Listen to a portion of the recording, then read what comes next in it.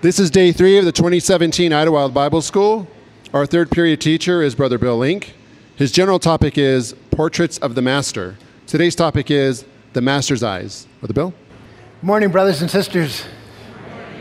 My dear brothers and sisters and friends in Christ Jesus. The eyes are often called the window of the soul. We might not be able to put into words what we mean when we say it, but we can describe somebody as having angry eyes, or somebody as having gentle eyes or welcoming eyes.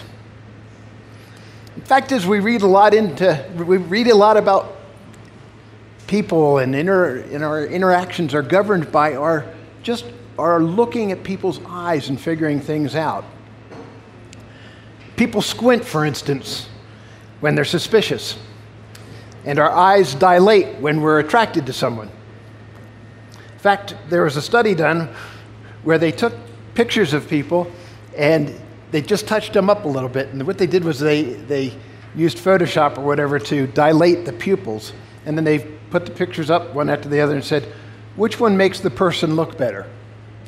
And people always chose the one with the dilated pupils without even really being able to explain why they were choosing that one.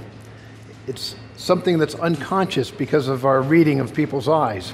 In fact, there was a paper published in the prestigious Proceedings of the National Academy of Science a few years back where they showed that even infants can read fear in people's eyes, and even with only a quick glimpse at their eyes. People's eyes really do tell us a lot about them. And so it's not surprising that the Gospels bid us take note of our Master's eyes. A lot of these things we could very easily read right past the little details given in the Gospels. And it might not matter if we misread somebody else's eyes, but it'd be an awful shame not to take note of the evangelist's observations, which paint a picture in our mind of the Lord we wish to know. And once you start paying attention to it, you, you might even find it a bit startling how many references there are to Jesus' eyes, to his look, his gaze. There's something about it, I think, that his witnesses never forgot. In particular, we're drawn to Jesus' eyes when he prayed. If you open your Bible to Gospel of Mark, chapter 6, verse 41. This one's recorded in all of the synoptic gospels Matthew, Mark, and you know why they're called synoptic? They have the same optics, they have the same perspective. Matthew, Mark, and Luke, the synoptic gospels. And they all tell us at the feeding of the 5,000 that when Jesus prayed, he looked up to heaven. Mark 6, verse 41. When he had taken the five loaves and the two fishes, he looked up to heaven and blessed and brake the loaves and gave them to his disciples to set before them, and the two fishes divided he among them all. What was conveyed by that heavenward glance? Chapter 7, verse 32 they bring unto, unto him one that was deaf and had an impediment in his speech, and they beseech him to put his hand upon him. And he took him aside from the multitude and put his fingers into his ears, and he spit and touched his tongue. And looking up to heaven, he sighed and saith unto him, Ephphatha, that is, be opened.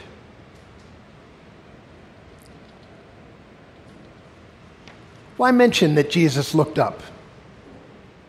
Why did he look up? What's it teach us about him?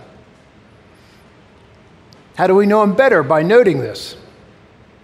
There are other examples of it. We won't look these up, these are in the Gospel of John, but John chapter 11, at the resurrection of Lazarus, they took away the stone from the place where the dead was laid, and Jesus lifted up his eyes and said, Father, I thank thee that thou hast heard me. John 17, his prayer en route to Gethsemane. These words spake Jesus and lifted up his eyes to heaven and said, Father, the hour is come. Glorify thy Son, that thy Son also may glorify thee. I was struck last night by Brother Tim's comments about our posture in, in prayer. That 1 Timothy chapter 2 has the apostle saying, I desire that men everywhere lift holy hands. And Brother Tim encouraged us to at least try having our hands open. And maybe there's something about lifting our eyes as well. Not that this is all static or that this is a, a you know, we always do the same thing, and, but making prayer real. I've mentioned a few times about the place I work that I, it's protected land and I can go wander off in the evenings, ride a bike or whatever. And, and sometimes in the, in the quiet and desolate place where I know nobody's going to see me, I, I can lift my hands. I can look to heaven. It, it's powerful. I suggested Monday that the Gospel of Matthew has draws our attention to Jesus' hands. I mean, when you look at a harmony of the Gospels, which is a great way to read the, the Gospels, is a good study. Uh, my wife, Sister Carol, did this recently where she just went through the Gospels using the harmony of the Gospels to lay them out side by side and to notice the di- differences and the, the, the things are added. Matthew brings our attention to Jesus' hands. And similarly, and I never noticed that until I was preparing these studies, Mark draws our attention to Jesus' eyes. So, in addition to the ones we've already noted, which are shared among the other Gospels, we have, for instance, Mark chapter 3. Very much brings our attention to Jesus' eyes. This is the time when, when Jesus is in the synagogue and they bring a man with a withered hand.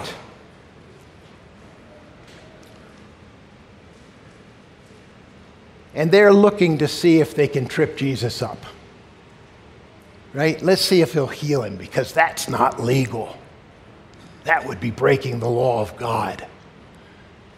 We have him if he does that.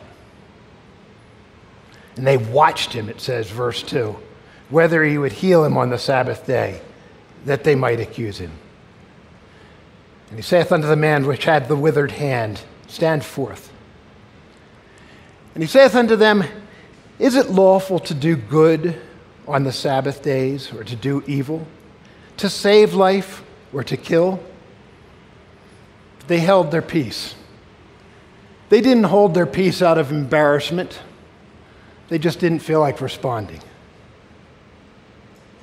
And when he'd looked round about on them with anger, being grieved for the hardness of their hearts, he saith unto the man, Stretch forth thine hand.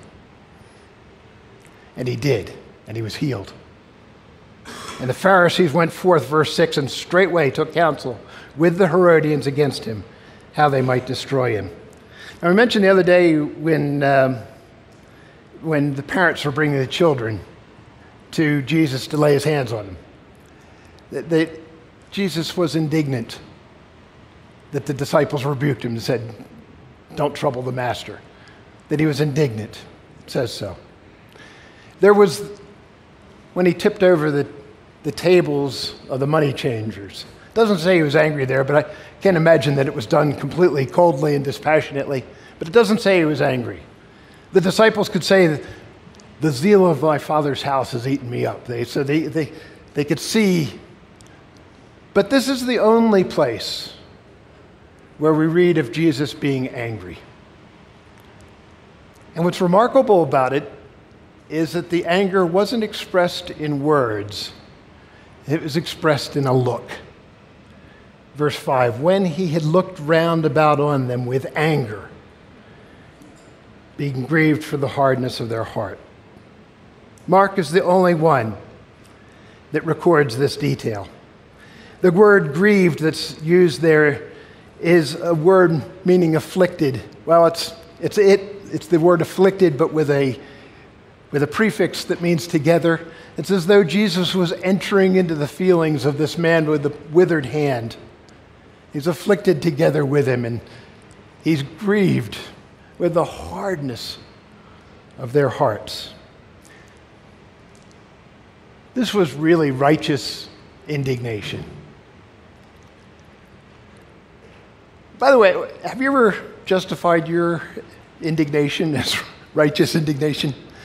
We might do that sometimes, and I think that when we try to lay claim to righteous indignation, we're in real danger. Like you know, you're most likely to do something unwise when you're sure you're right, when you're confident you're right. And in fact, what the scripture tells us is that we aren't righteous. Any righteousness that we have is by the gracious imputation of righteousness because of faith, that God imputes our faith as righteousness. But let's stay away from saying righteous indignation for ourselves, because most of the time when we get indignant, it's the wrath of man that worketh not the righteousness of God. But in the case of Jesus, really something. Mark chapter 3, verse 34. Mark emphasizing the eyes of the Lord. Remember, they, we, we talked about this, I think, Monday, with Behold my mothers and my brethren. And Matthew says he used his hand to gesture. And Mark says he looked round about on them which sat about him and said, Behold my mother and my brethren. Chapter 5, verse 32 the woman healed of the issue of blood that we talked about before. Mark only has the detail, verse 32. He looked round about to see her that had done this thing. Mark chapter 8. When Jesus is explaining to the disciples that he's got to go to Jerusalem and be, and be mistreated and killed. And Peter in his affection for the Lord, says, No, no, no. Be it far from thee, Lord. Don't let this happen. And look what Mark says, and again, this detail's only in Mark. Verse 33 When he had turned about and looked on his disciples, he rebuked Peter. Why did he do that? Jesus, Peter says, Don't let, let this happen. Be it far from you. Spare yourself. And Jesus looks at the disciples, each one of them. Is he gauging their reaction? Is he, is he looking to see? Is he challenging them? He does that, and then he addresses Peter.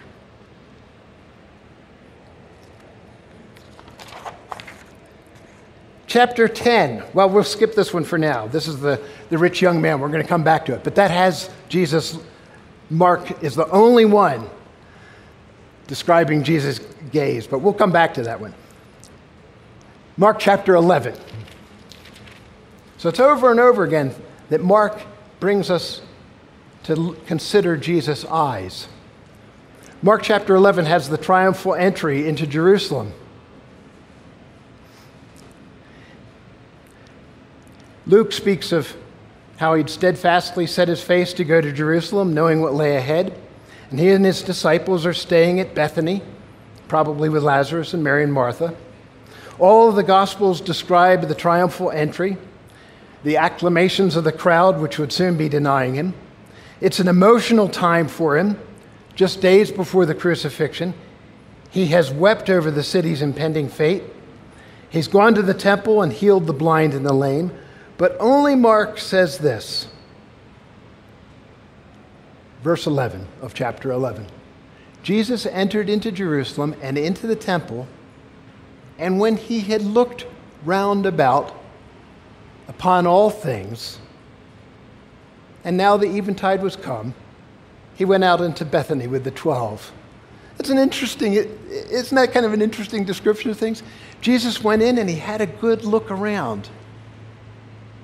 And it doesn't say anything more than that, except us, it invites us to know our Lord and to imagine what was running through his mind as he looked around and then left and returned to Bethany. So, all this is sort of by way of introduction um, to say that Mark is the gospel that really focuses our attention on Jesus' eyes. So, I want us to come back to Mark chapter 10, the episode of the rich young ruler. Begins at Mark 10, verse 17. A man comes running up to Jesus. All of the Gospels record this episode as following Jesus laying hands on the young children. The man who runs up is a young man, Matthew tells us. Luke describes him as a ruler, whether that would mean in the synagogue or simply a man of authority among the Sadducees, or maybe even a ruler of the San, member of the Sanhedrin. Can't say for sure. But all the Gospels make clear that he was very well to do. Luke says he was very rich. Matthew and Mark say he had great possessions. So he comes running and kneels down before Jesus in verse 17. When he was gone forth into the way, there came one running and kneeled to him and asked him, Good master, what shall I do that I may inherit eternal life? Now, we're familiar with these verses probably they come to mind first of all as a, as a good proof passage, you know, because Jesus says, Why do you call me good? There's only one good, and that's God. And so Jesus is not laying title, claim to the title of good, therefore he is not equating himself with God. And it's a, that's a good piece of exposition. But let's not forget to look at, at the dynamics of what's going on. It's interesting to notice, though, I'll just point out verse 20 that when the young man addresses Jesus the second time, he only calls him master. He no longer calls him good master. Jesus tells him that he has to keep the commandments. Right? Verse 18 Why callest thou me good? There's none good but one, that is God. Thou knowest the commandments do not commit adultery, do not kill, do not steal, do not bear false witness, defraud not, honor thy father and mother. And he answered him and said unto him, Master, all these things have I observed from my youth up. Matthew adds, What do I still lack? So look at Mark 10, verse 21 and 22. Then Jesus, beholding him, loved him, and said unto him, One thing thou lackest. Go thy way, sell whatsoever thou hast, and give to the poor, and thou shalt have treasure in heaven. And come, take up the cross and follow me. And he was sad at that saying and went away grieved, for he had great possessions. And there's, there's that remarkable passage in the Gospel of John that says Jesus needed not that any should testify of man, for he knew what was in man. So I might be inclined when I hear this young man say, Well, I've kept all these things from my youth up. My first reaction would be, Baloney, you haven't. And I might think to myself, You're just looking for approval. You're just looking for me to give you some strokes and say, hey, you've done enough. You're a good guy. Everything's okay. Don't worry about it. Is that what you want? But Jesus had the penetrating insight to know what was in a man and not to need the testimony of another. Like we might ask one another, well, what about brother so and so? Is he somebody that you would want to do such and such a job? Would he be capable and have the responsibility for that? We need the testimony of others. Jesus didn't. He knew what was in a man. And so look what it says Jesus, beholding him, loved him. Jesus' response shows he thought that this was a sincere question from the man. And notice that he says that he beheld him. The word's the word that's used in that well known passage in Acts. Ye men of Galilee, why stand ye gazing up into heaven? So you can just imagine Jesus gazing at the young man with a warm smile on his face. He knew there was one problem the young man had. He was wealthy, and he loved his possessions. And we talked about this previously, but it's an observation I think makes us in this comfortable Western world, it ought to make us squirm a bit because we have great possessions. We love our comforts. At least I know I do.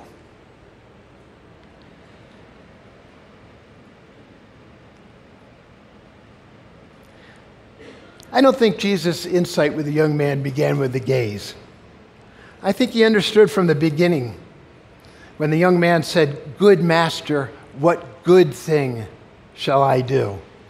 The young man had the idea most people tend to have that if we just do enough good, that God will reward us, that our, our, our good deeds compel God's favor. But then let's not be too hard on the young man. He hadn't had the benefit of reading Romans 4. He, he, he, probably didn't understand from Genesis 15, verse 6, how that Abraham's faith was imputed for righteousness. That even though, like Paul encourages us in Romans, we ought to, by patient continuance in well doing, seek for glory and honor and immortality, that what we do does matter that nevertheless, God's favor is a matter of grace and not debt. So Jesus sets out to teach this young man. That's why it was necessary for him to correct him and for calling him good master. None of us, and even Jesus himself at that point, could lay claim to the title of good. And that really should have answered the young man's question of what good thing he should do. Jesus was the teacher, and this was his opportunity to teach. Thou knowest the commandments. And the young man answers, I've, I've kept all them since my youth up. And I suspect that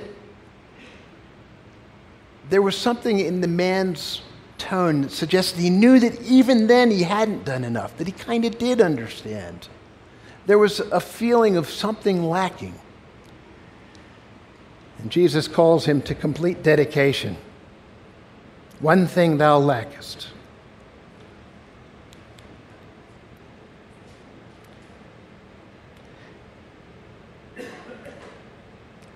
All of the synoptic gospels record Jesus' appeal come and follow me. Mark adds this wonderful phrase in 10, verse 21 take up the cross. The cross that was ever before our Lord. Now, you think we're going to talk on Friday about the mind of the Lord and how it's expressed in the Psalms, but you think how many times had Jesus read Psalm 22? How many times had he seen people crucified and thought about the, the prophecy of Psalm 22? and thought about the cross.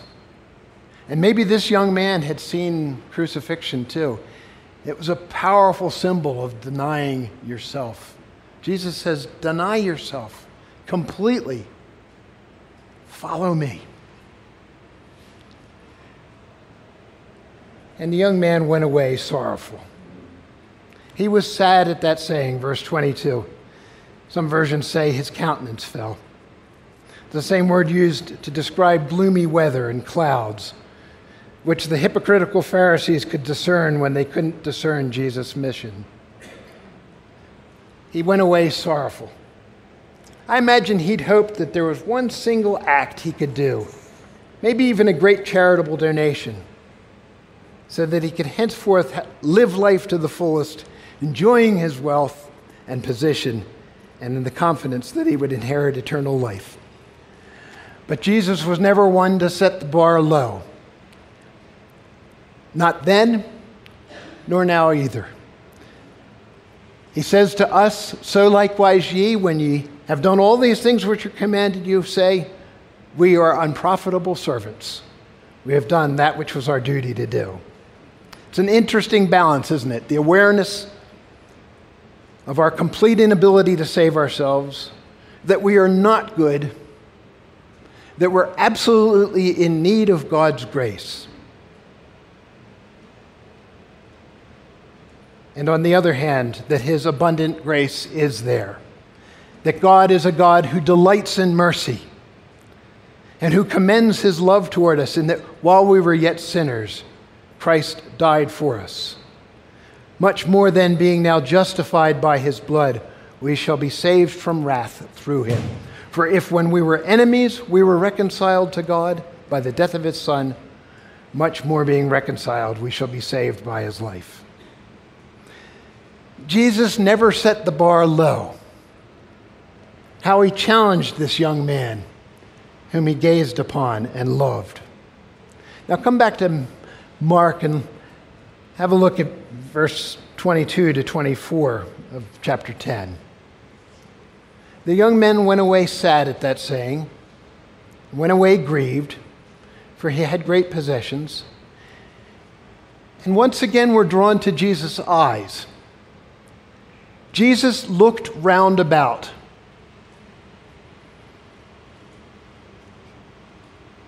He looks round about and he says to his disciples, How hardly shall they that have riches enter into the kingdom of God. I'm guessing that it was incredulity that he saw in the eyes of his disciples. They thought that wealth was a sign of God's favor. To their way of thinking, this young man was surely one who was okay with God. Just look at his position. You know, leader of the synagogue. Wasn't his wealth an evident sign of God's favor?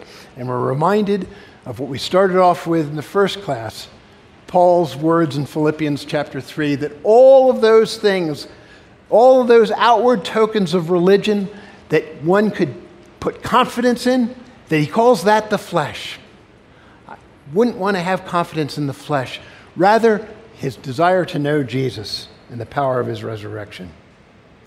And so they're astonished at his response. And so there was more education to be done, not only of the rich young man, but of Jesus' disciples. It says that he looked round about and said to them, How hardly shall they that have riches enter the kingdom of God? Verse 24, the disciples were astonished at his words. Verse 26, they were astonished out of measure. And once again, verse 27, Jesus looking upon them saith, With men it is impossible, but not with God. For with God all things are possible. So note verse 27. Here's the teachable moment, the climax. Once again, Jesus makes eye contact with them, he looks on them. Imagine his eyes.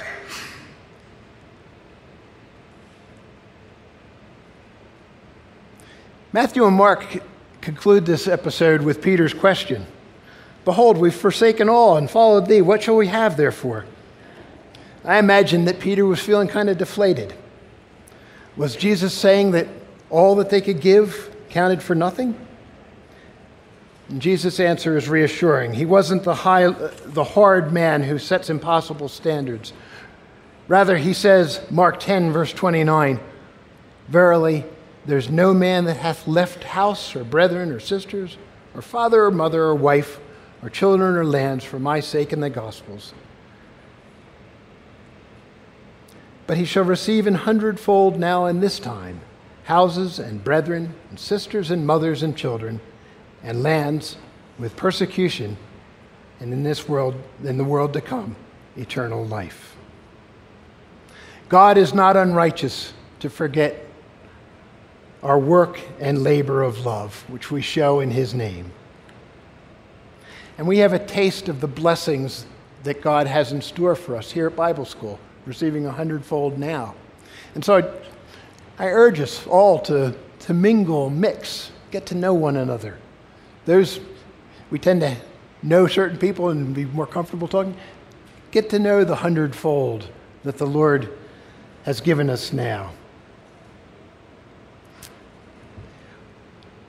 There's a couple other references to Jesus' eyes in other Gospels that I just want to make quick passing reference to.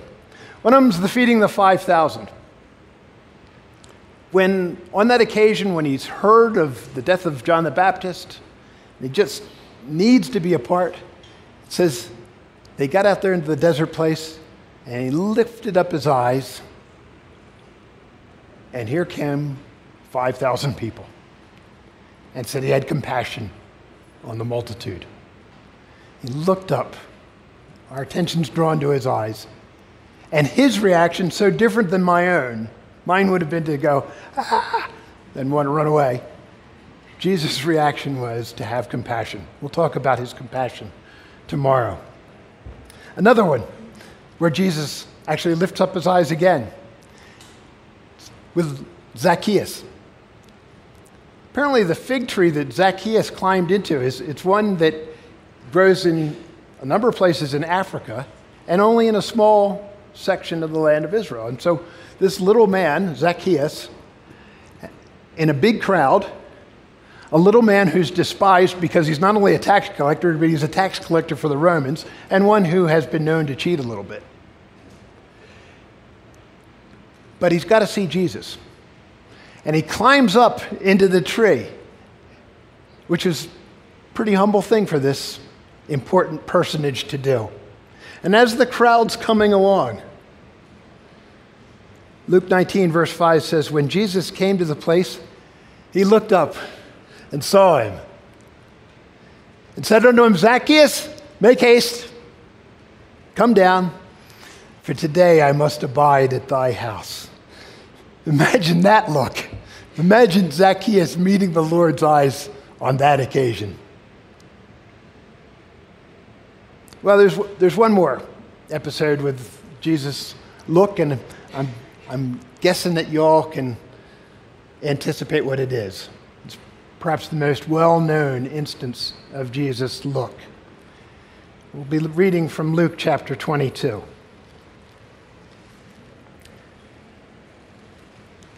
It's right at the end of Jesus' ministry, it's just before the crucifixion.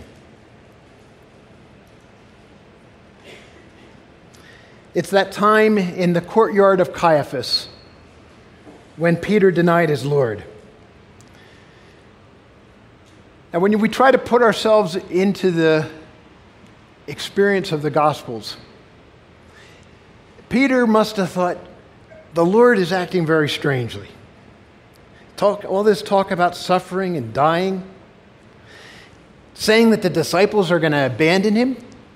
There's no way we're going to abandon you.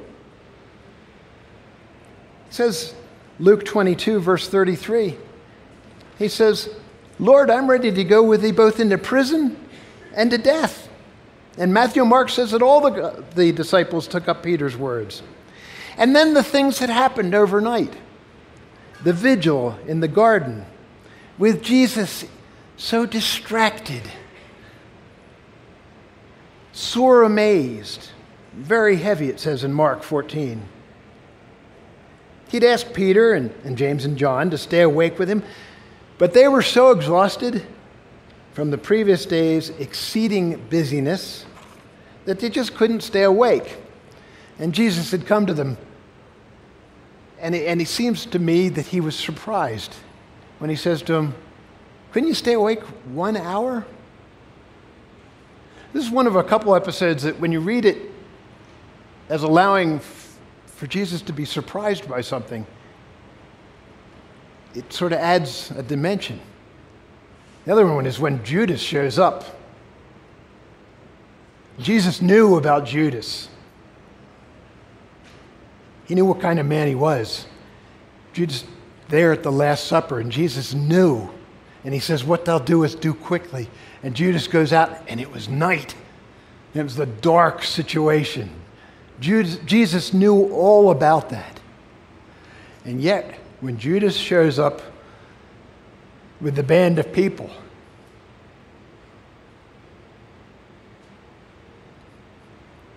and he steps forward and gives Jesus a kiss, the Lord says, Judas, betrayest thou me with a kiss? Like Jesus could have would have known about the crucifixion, he would have known about a lot of what was going to lay ahead, parting the garments, buffets. But there's nothing in the prophecies to prepare him for that. That his token of love was the token now of a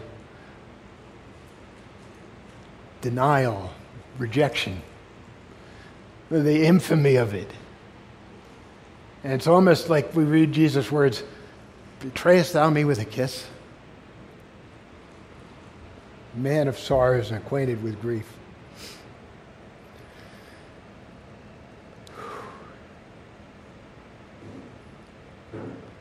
The disciples had questioned at the Last Supper who it was that betrayed Jesus. And now they knew. And Peter whips out his, it wasn't a, probably really a sword, it was probably more what we'd call a hunting knife, not that long. And he slashes away wildly with the, the crowd there. And, and Peter, he slashes it and he hits the high priest's servant Malchus's ear. And Jesus immediately put up your knife heals the man's ear, and there's confusion and mayhem, and in the confusion, all the disciples forsake him and flee, including Peter. And they take Jesus first to the house of Annas and then to the house of Caiaphas. Caiaphas was high priest that year. Of course, the high priest was supposed to be for life, but it wasn't that way in those times. Annas, Annas was a man of great authority, but the Romans didn't want the high priest being too influential, and so they made sure the Jews swapped that responsibility among themselves.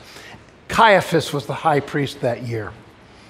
And so Peter makes his way following the arresting crowd to the house of Caiaphas. And somebody lets him in. It's recorded in John's gospel, and it says that one of Jesus' followers was known to the high priest. And we think maybe that's an anonymous way of John saying it was me, but not wanting to use his own name. That explanation doesn't really convince me. I, I think more likely it was maybe Nicodemus or, or Joseph of Arimathea um, that would have been known of the high priest. John was a humble fisherman. Why would he have been known to? But it doesn't matter. One way or another, Peter gets in the door. He's tried to stay true to his word. He's followed the crowd that arrested Jesus all the way to the house of Caiaphas and is watching the proceedings from a distance. And the denials come. So easily, but so understandably. The first time, it was the young woman who had admitted him. And she said, You're not also one of his disciples, are you? And that made him, No, no, no, not me. Then, as Peter attempted to warm himself, so chilly that he was willing to risk being found out, one of the, one of the Gospels says it, they lit a fire because it was cold. And you say, Well, why else would they light a fire? Because it was cold. It's just like John's, it was night. This was cold. And Peter's there at the fire attempting to warm himself. Maybe it was being in Caiaphas' house. Maybe it was after having wounded Malchus that Peter was afraid and wanted to be anonymous. As he made his third denial, that time panicking and backing up his words with a curse. In other words, saying, The Lord strike me dead if I know him. the Lord turned and looked upon Peter. Luke 22, verse 60. Peter said, Man, I know not what thou sayest. And immediately while he yet spake, the cock crew. And the Lord turned and looked upon Peter. And Peter remembered the word of the Lord, how he had said unto him, Before the cock crow, thou shalt deny me thrice. How do you imagine that look from across the courtyard? Jesus was a, a man of sorrows and acquainted with grief. And surely there must have been some grief in that look. It's intriguing to note that it's the same word as is used of him looking at the rich young man, that he gazed on him. And I imagine that just like when he looked at that rich young man and gazed on him with love, that he gazed at Peter with a look that was mingled sorrow and love. Because we read that Peter went out and wept bitterly. That look, the power of that look, and what a change it wrought.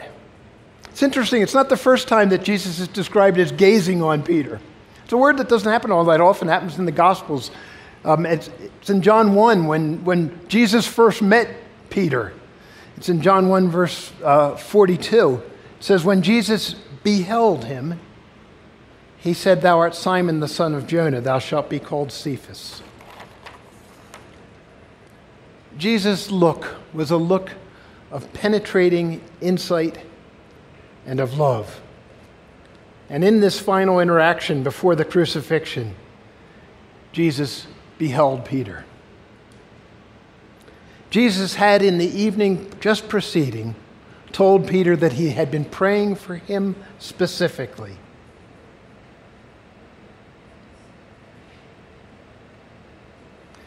We read it yesterday in Hebrews chapter 4, verse 13,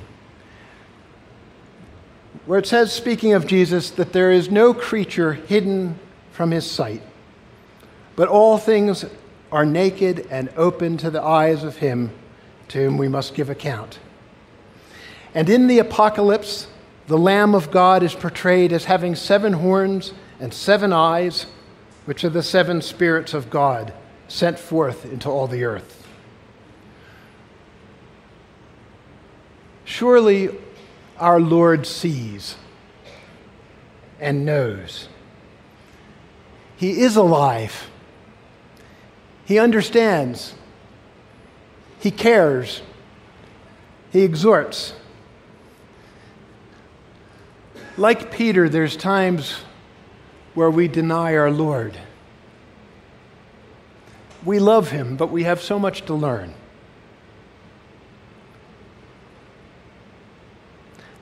You know, a day is coming when we will seek Jesus, when we will look into his eyes.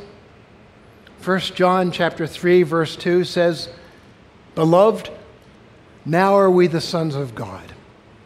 And it doth not yet appear what we shall be. But we know that when he shall appear, we shall be like him, for we shall see him as he is. that marvelous thought. We're going to look into those eyes. We're going to look to the eyes of our Lord who loves us, and who strengthens us, and encourages us, who exhorts us to take up our cross, to deny ourselves, to follow him.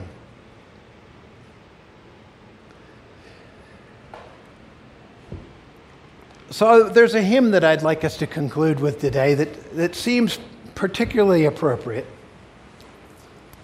except that it's not quite. And the reason it's not quite is because it's an evening hymn and it's not evening. So, how are we going to deal with that difficulty? One of the teens suggested that it's evening somewhere. That's, that's one possible way of dealing with it. Another way is for us to pretend it's evening or maybe we could, maybe we could think of this as a metaphorical evening, that, that we're in the, the last light of Gentile darkness or something like that. But it's a hymn that I, well, there's one phrase in it that's that particularly powerful. It's hymn 407. And I'm thinking Well, all of it's marvelous for the topic we're considering this week, but I'm thinking of verse 4 in particular.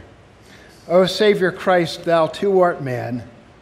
Thou hast been troubled, tempted, tried. Thy kind but searching glance can scan the very wounds that shame would hide.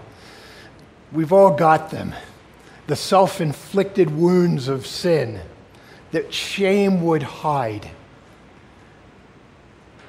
And his kind but searching glance scans them and looks on us with love. Hymn number 407.